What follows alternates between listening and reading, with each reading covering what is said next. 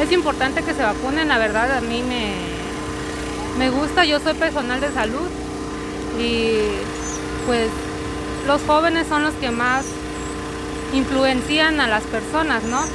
Entonces, pues me gusta que ya haya la vacuna y es importante que, que se vacunen porque ya no, ya podemos prevenir lo que es el contagio a los demás, este, a las demás personas.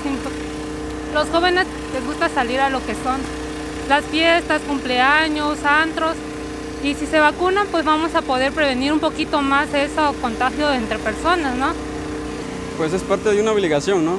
Como ciudadanos, pues igual somos estudiantes de medicina y pues creo que eh, como jóvenes también es parte de, nuestra obligación. Claro, pues que se vacunen, que pues eh, no tengan miedo, que todo esto es normal, pues que le echen ganas. Bueno, en realidad es un albur, ¿no? O sea, de decir, uno se vacuna y no sabe si te vas a morir en realidad por la vacuna o por el virus.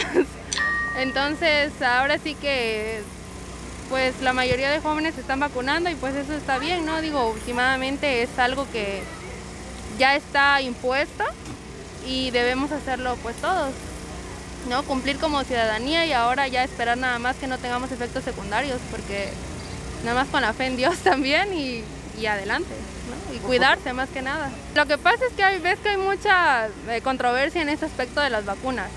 Entonces, yo no sé, en realidad, eh, nosotros ya nos fuimos a vacunar, pero en realidad yo no sé, hay muchas investigaciones ahí y, y, tampoco hay que tener ojos cerrados, no siempre hay que hacer una investigación y no decir sí a todo, como digo, no somos borregos, no somos gente pensante y debemos analizar bien lo que estamos haciendo y más que nada cuidarse más que nada cuidarse y tener la responsabilidad de tener la sana distancia, que si lavarse las manos, no estar en lugares tan públicos, porque eso es lo principal, si uno se queda en casa y uno hace, nada más sale por necesidad, pues todo va a estar bien.